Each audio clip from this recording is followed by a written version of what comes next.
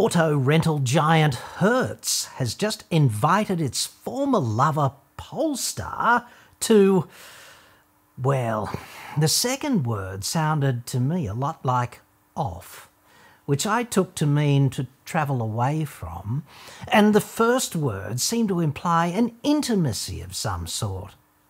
Only not in a good way. Dude, even if I live to be a hundred, which is unlikely, I know, I doubt that I will ever fully understand the complexities of corporate affairs.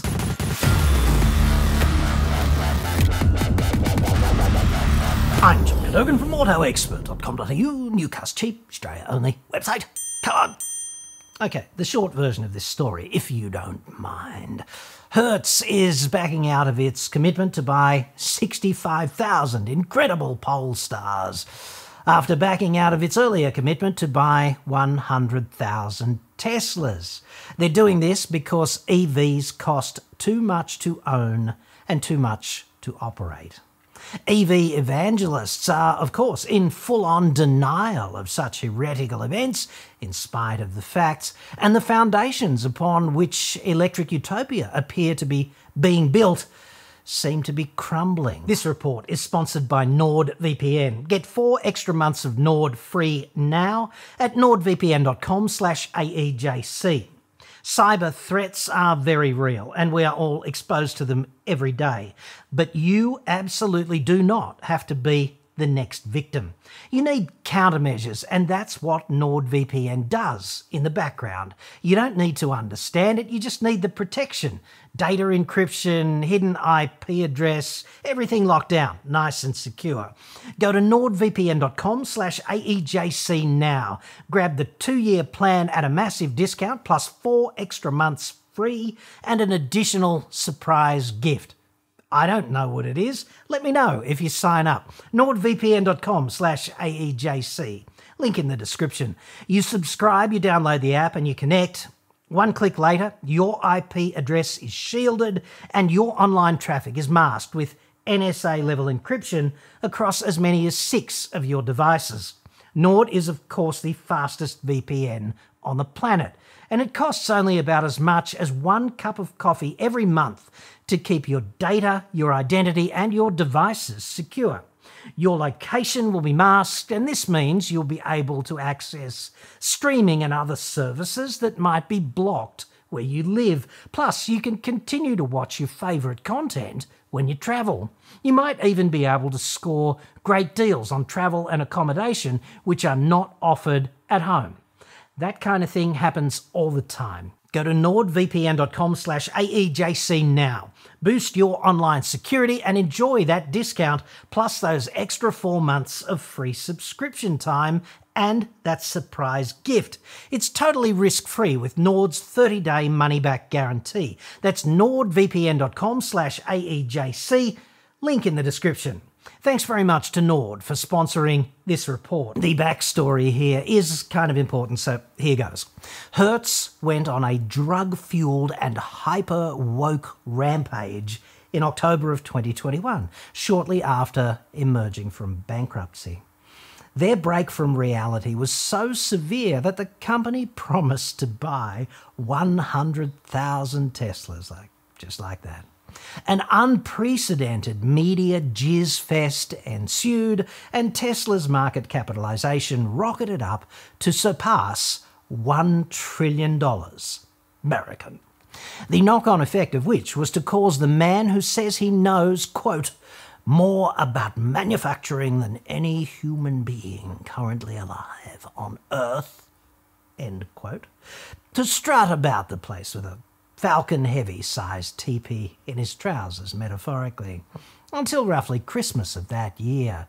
This would normally be a medical emergency, of course, but he is Rocket Man and the Lord moves in mysterious ways. Time goes by inexorably. Hertz discovers inconveniently that Teslas are pretty expensive to keep on the road. That's putting it mildly. Space Karen, at the same time, coincidentally, goes on a Tesla price slashing discount frenzy, which is, of course, the same thing as giving your biggest customer Hertz a barbed wire enema on the ownership cost front and an enthusiastic flip o' the bird for good measure. Therefore, Hertz calls its engagement to Tesla off in January of this year. Rocket Man demands his ring back, so predictably. There's an inverse media gasm orbiting all of this, and EJ suffers a serious anti trouser teepee, which, of course, was just the universe rebalancing itself back to a state of corporate trouser teepee equilibrium. Then, one day in between those TP spectrum defining events.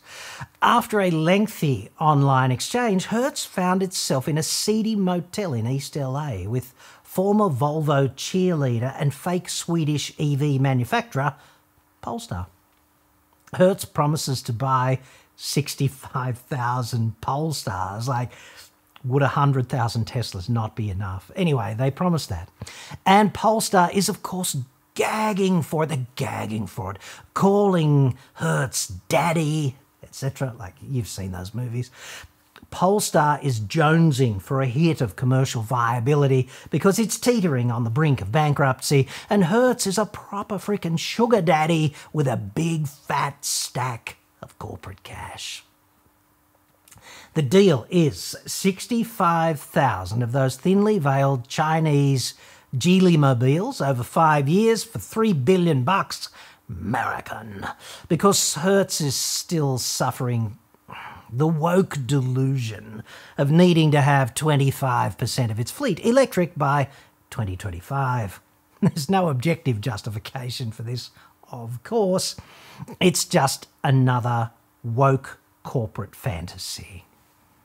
Just before Christmas of last year, Hertz had already made a total of 13,000 Polestar badged errors of judgment, which is roughly a quarter of Polestar's annual production. Go figure. And on balance, operating 13,000 Polestars was not a pleasant or financially sustainable experience for the rental car giant. So, Next time they get together at the Motel 6 at Redondo Beach or something, Hertz suggests that the couple might want to just back off and put their mad fling on hold. This, of course, goes about as well as conversations of this nature generally do, like terrain, terrain.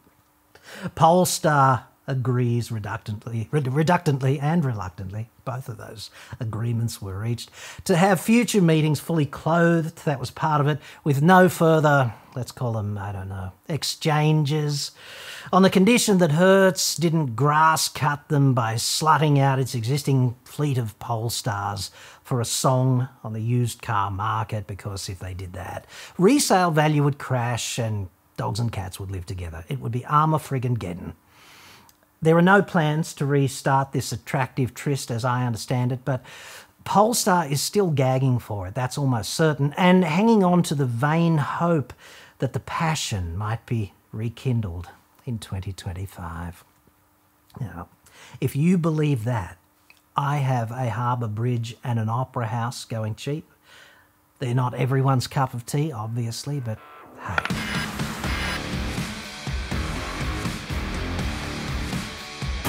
Put this Hertz deal in perspective, okay, Polestar sold only about 54,000 cars globally in 2023.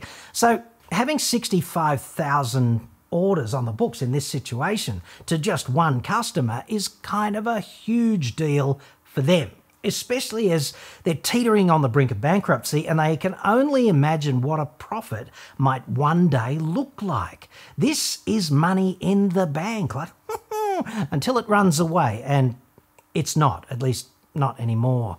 Imagine if that one so important customer just runs away, tears up its contract, and goes back to combustion, like eh, if you make EVs. And they do this at exactly the time that you're casting around for just the Goldilocks rich idiot to part from his money just so you can keep your freaking doors open. There is another rolling micromedia gasm about EVs crashing. You've seen those reports, right? Not being the panacea we'd all hoped for, etc. The backdrop here, okay, the massive slowdown in EVs worldwide has seen the likes of Ford and GM, for example, sprint away from their stated enthusiasm for and commitment to electric utopia. Billions of their cash have been poured back into combustion because the research is in, and for example, Jethro, Cletus, and Jim Bob just decided that they really, really don't want to roll in a battery F 150. Renault recently canned a proposed stock market float of its EV division because suddenly it's the wrong time.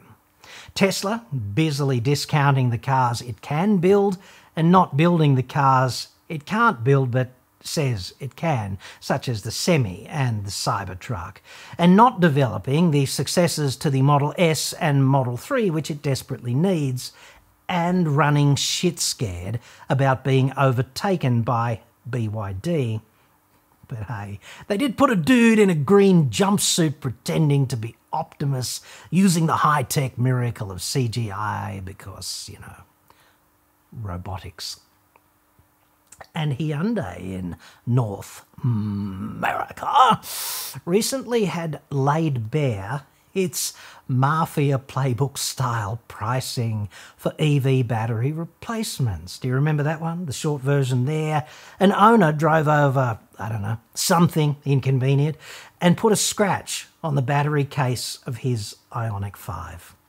This snowballs into a $60,000 repair bill Canadian, but hey, 60 grand, roughly equivalent to 60 grand Australian, that's for a replacement battery, but at least it included labour and taxes, and so it would frickin' want to for 60 grand, would it not?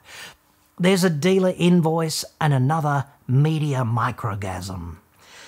There's some suggestion by Hyundai North America that the price was just some terrible clerical error until a second customer comes forward and presents exactly the same price on an invoice for a similar problem in his Ioniq 5.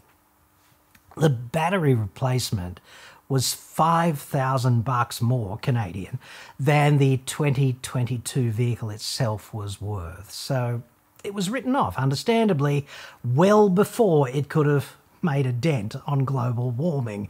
Essentially, the battery in an Ioniq 5 seems to be a $60,000 unserviceable, unrepairable component, jam packed with toxic shit. So, yay. This is what electric utopia actually smells like.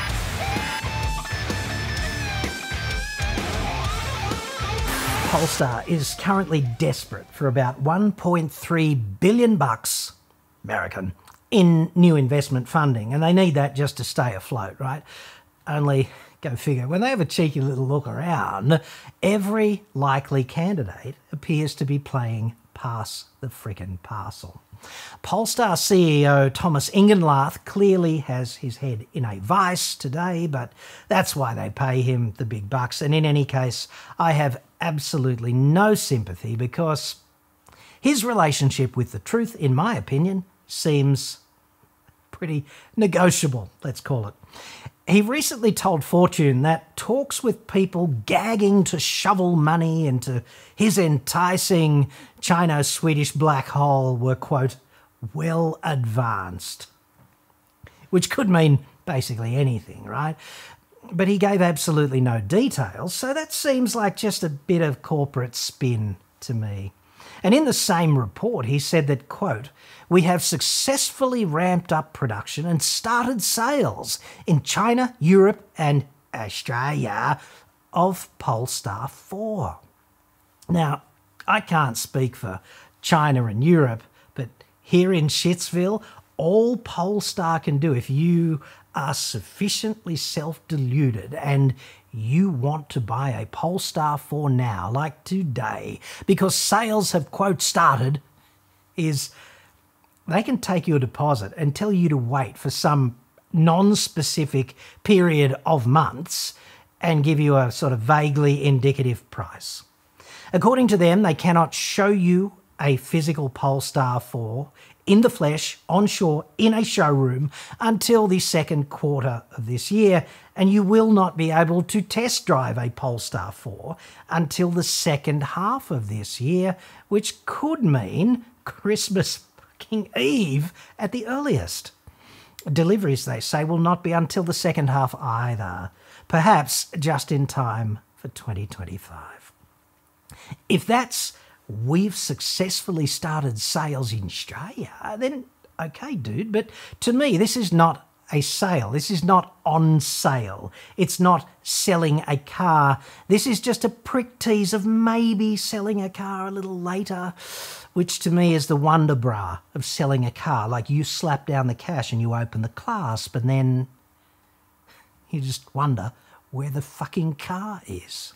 It's taking an order at best after an expression of interest by you. A sale is pretty clearly where there is a meaningful bilateral exchange, like funds in exchange for a product. And this is not that. This is a we might be able to sell this to you before Christmas if we are not bankrupt in the meantime and if production doesn't fall over.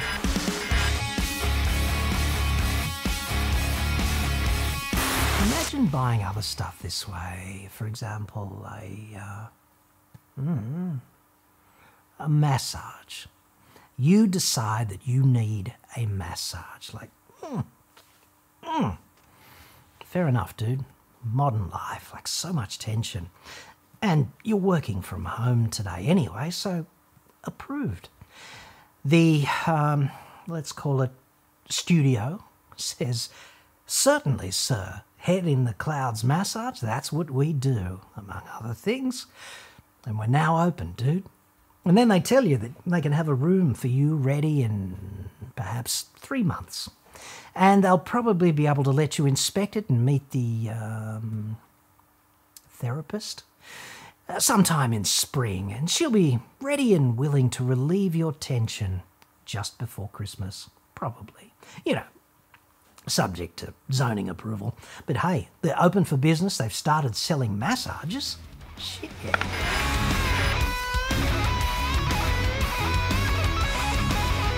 Polestar is so concerned about crashing EV resale values and the huge disincentive to owning one that this would represent in the market generally that it convinced its former lover Hertz to give it the right of first refusal on Hertz's fleet of Polestars when Hertz wants to dispose of them. And Hertz has graciously agreed to keep them on the fleet for at least a year. Now, as Chrissy Amphlett so poignantly pointed out, there's a fine, fine line between pleasure and pain. I think we can all agree on that. And I would argue that having a Polestar for a friggin' year is well over that line. So this means a quasi bankrupt fake Swedish EV manufacturer could burn even more cash that it does not have by hoovering up Hertz's sloppy seconds at great expense if it deems it necessary to do so to avoid a glut of used Polestars entering the market and trashing resale values across the market and getting all kinds of hapless first adopters up in arms, screaming, never again, kind of thing, ad nauseum on social media, etc., just when they need the Goldilocks rich idiot to come along and presume that Polestar is a great investment.